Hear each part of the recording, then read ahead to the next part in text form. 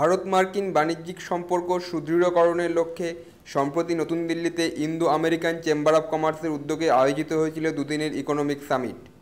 আর সেই উপলক্ষেই Indo American chamber of কমার্সের নবনিযুক্ত প্রেসিডেন্ট অশোক লাহা ক্যালকলিংকে দেওয়া এক একান্ত সাক্ষাৎকারে জানালেন তিনি উদ্যোগ নিচ্ছেন দুদেশের বাণিজ্যিক সম্পর্কে কাঠামোকে মজবুত ভিতের ওপর গড়ে তুলতে।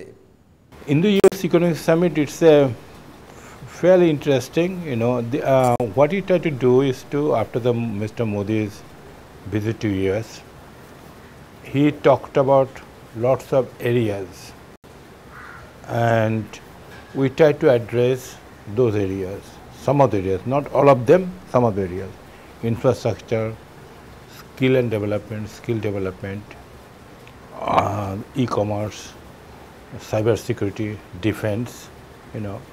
Some of the areas we addressed it because it's a two-day seminar and we went to in details. Uh, basically, we try to understand that uh, we take a title and try to understand that what are the issues are there, where you stand right now, what you have to do to move ahead, what are the realistically can do, you know. And, uh, and it was very interesting because US Embassy, they supported us. We used the logo. The first time that happened. And lots of people from the US Embassy, they, they, want, they supported us. They actively participated while you are putting the program together. You know, the another area was the hospitality. And US, US Embassy, uh, the commerce, commercial counselor, the commercial minister, they call it as John, he participated that. You know, he actually drove us because the hospital is one of the big thing today. So it's These by its kind of appellations or recognition. recognition, yeah, you know, and so I think there is a huge opportunity there, you know. It's basically there's a lots of buzz going on right now, lots of uh, mood is different, you know. So because in the US, in the American Chamber of Commerce is a bilateral, only bilateral organization, we only address the US business. So we try to address some of the issues, not all of them, some of the issues and try to see how to move forward. In the sense that how our members can benefit doing a business in US in those areas, as well as the, some of the US companies, you know, how they can do a business with us and how to can help them out. So that's the whole purpose of the US in the US summit. What are things we came up with in the summit? And throughout the next one year, that's my goal is to, we are going to address all of them. You know, we, to start with, we may start to bring some delegation from here to there, to US. We try to bring some delegation from US to come here. We may have a, some localized seminar, certain areas, you know, and that the, the where it, some of the problem can be resolved in more details, you know. Mr. What Mr. Modi talked about, it will not be just, it's not a magic, would happen one day, but we are going to, we are in the US, in the American Chamber of Commerce, we are going to participate in move forward. Let me put a somewhat uncomfortable question that normally these Chamber of Commerce and other industry bodies, they are often considered or perceived to be just talk shops. They organize seminars, summits and all that. And on ground zero, nothing actually happens. So during your tenure, what would you lay most trust on so that something or things get done actually? I think I think you are you are perfectly right. You know that um, some some of the people talk about uh, the chambers as a club. You know, I've heard the comment from the American Chamber of Commerce, uh, AmCham, which I'm a member. You know, I heard that some people, some members openly talked about it. It's a club of the big business community. Nothing happens.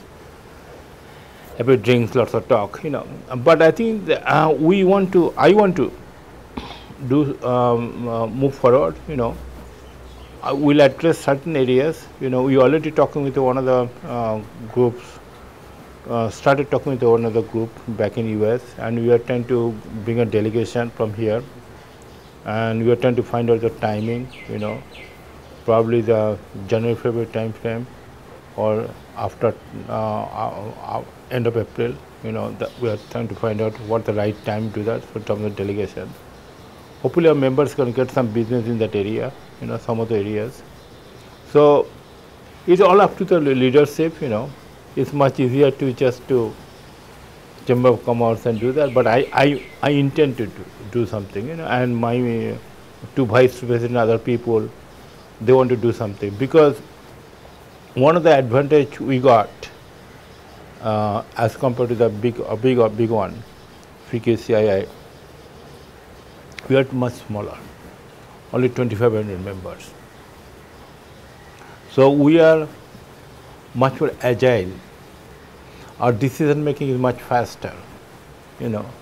Our uh, and all of us run a business of our own right?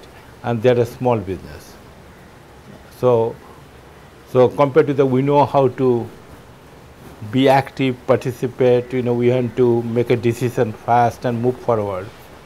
Lean and small. lean and small. We have to be lean and small you know.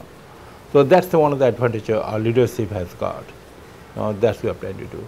But again, you know, it's much easier not to do anything, you know, but I intend to do it.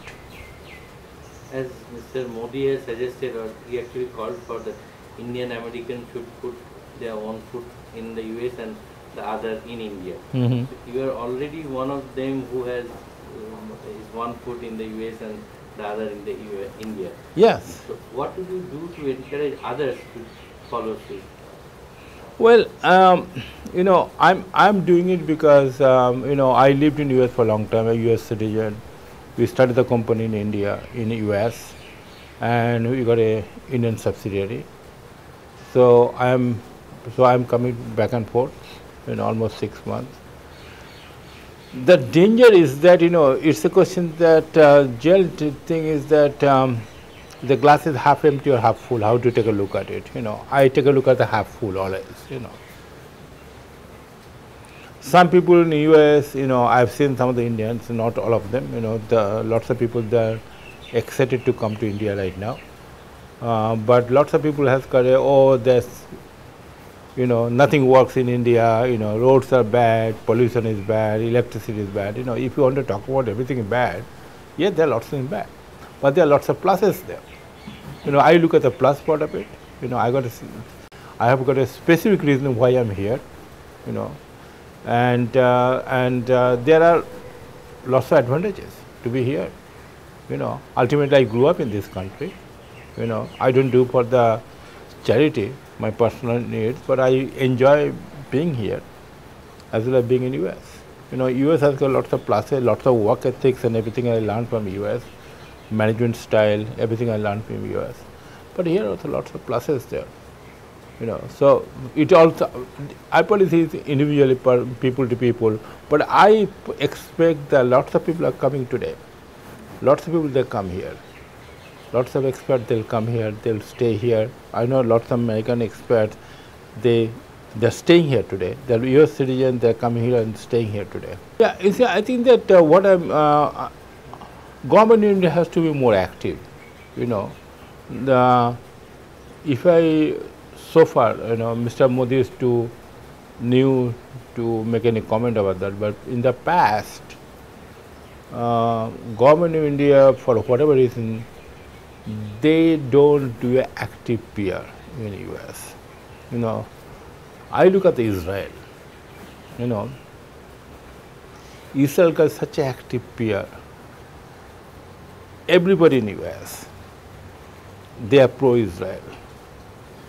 Not a single senators, if they want to be anti-Israel, they lose the election. You know, uh, so and they, they they press and everything else. They are always writing positive thing about Israel.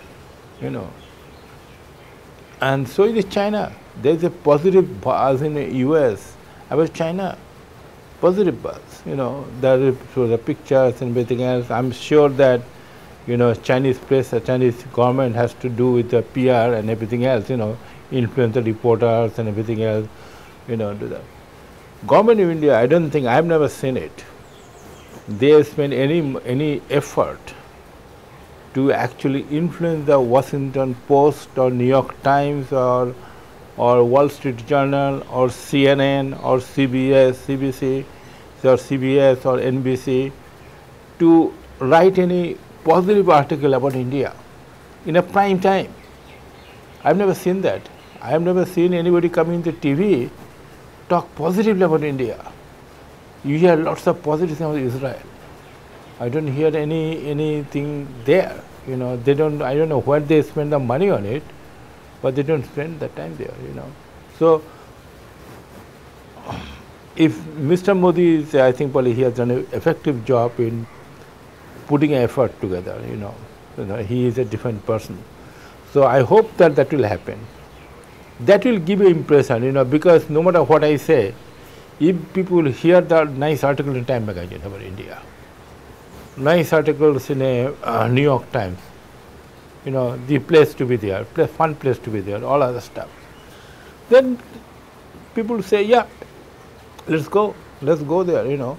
People want to have a, uh, you know, if you in the US you made money, right, you know, after age of 40, 50. And uh, so if you want to come here, what you like to do? You like to have a decent medical system, decent place to live in, you know, housing and everything, and, place to live in, you know. There is no reason why people, and people are moving here, but there are more people coming. I expect that. I'm hopeful, I'm positive person. I'm hopeful there are lots of people coming. You mentioned about China. Many people think that China has become what it is today because of this coming back or return of a large number of non-resident Chinese yes. Who had one vote. So That's could you good. do anything towards this goal so that non-resident Indians can also come back from the UN? I think I think that you should do. You know that once you create that image, you know, it's easy to live in a nicely. You know, So given the fact that your standard of living from a dollar terms you not get the same salaries, but people can come with expat or salaries, but you still can make a decent living here because standard of living is lower compared to U.S. standard of living. You can make a decent living, and at the end of the day, you know what do you do, you know. And if you got a good medical profession and a good work environment, then uh, China produced to the given the people, you know. Uh, if you are a Chinese bright engineer, you know, or the mid-level manager, right? I probably will be in a US working for an American corporation in California or some other place, you know. And if I'm working for a big company like Google or you know, or say on a, G- on a, uh, GM or some other people or IBM, then I'll be from the maybe uh, three or four level. I, I, there'll be difference between me and the CEO, probably another five or six layers there. Hmm. So, in a plain English, I'll have not too much influence on the company profitability or something like that. And uh, I don't have. it. I, I I've been put in a box. I can only do that part of it. If I go to China or India, for that matter, I have a much more influence on that. You know, much more influence on that because you know the knowledge I got, the technology I know, the management style I know, I can bring it much better because they are much more important here. And so that's why the, it appeals to lots of people. You know, do you want to be you know, you know, do you want to work in a small company or a big company? Similarly, go to subsidiary and you can be something like that. You know, like I was very excited. You know, I'm telling from my own experience when I was working for the Cadence. You know, and Cadence sent me to India to manage India, right? Before that, I was a uh, cost center manager, manager of cost center. Right? You know, I got a bunch of people there reporting up there, 15, 20, 30 people there, you know. All of a sudden when I came here, you know, and basically it's almost like a, somebody threw me, threw me in a deep pool, swimming to swim out or get out or die. And I have to know, I have to work with the government, I have to work with the US Embassy, I have to know the finance. I first I have to understand the balance sheet, you know, I have to talk with the sales people, I have to talk with the government officials here, all of the stuff, you know, every part of the business because I'm here, all of a sudden I'm running a P&L. given that's not a big PNL, but that still is a big, that's a PNL. So all facets of the PNL is there. And that's a tremendous knowledge. You know, all of a sudden there are lots of things I have to learn. You know, so that's the advantage of working for a small company, you can do that. Similarly, the Chinese who are living to US and they're going to China, they're building something. They're needed. Indian Indian industry needs lots of great people. You know, our education system. You know, if you can bring some of the uh, professors or some of the young professors from the U.S., they come here teach them for three four years, they can make a, lots of difference. You know, they can build a, they can produce a lots of difference in the industry. Once I hired a girl, uh, surprisingly, this girl um, was from Harvard Business School, just finished the degree, and she's of Indian origin. So she called me. She said, "Can I come to India, work with for six months? After six months, I will go back because I'm getting married, and I got a job in the Texas. I'll go back, but I'll take the six months off and come to India to understand Indian culture." I said, "Sure, you know, come on here." Surprisingly, the amount of things he added value, you know, is a huge. Because he gave a completely perspective to the other people also, you know, other people that think the same way. And here I talk, talk with them and they say, yeah, he's an old man who listen to it. Here's a young girl, always talking about this one, do this way, do this way, do this way, and he, she is uh, putting an example. She is coming here early morning and living 5 o'clock, 6 or 7 o'clock, 8 o'clock. You know, and that's completely different, create a completely different environment. So anybody who lives in US and uh, come here for, you know, we need those people. That's tremendous, you know, and uh, Indians will be extremely, I think they can help, they can help tremendously to build the company. I'm sure that lots of Indian managers may, may disagree, you know, but I can see that there's a huge difference between the culture there, yeah. This is like somewhat what Swami Vivekananda said 100 and 150 years ago that the best of both worlds should come together. Yes, yes, I agree with you. I agree with you. You know, there are lots of things you know US offers. The you know the um, respect of the deadline, milestones. Deadline means something. If I give you a commitment, I honor the commitment you know, and uh, those are the things we did that. And of course, there's the implied threat. If you don't do it, you'll be out the door. You know, they're very simple, you know. So, uh, so there, you know, U.S. and plus education system plus competitiveness, huge. It's a competitive world, and everybody there, particularly in California, Silicon Valley. Everybody dreams to be a millionaire by the age of 30. You know, that's everybody's. They work long hours, just they're going to start a company. It's a, it's a completely different. Silicon Valley is a completely different culture. Everybody wants to be a millionaire by age of 30. We are, we are, we are, we are uh, seriously planning to work with the, some of the universities. You know, it's a planning stage of us. You know, hopefully within a month we can probably figure it out. And to see how to build the skill, you know. You see, the skills basically if we do the manufacturing part of it, right,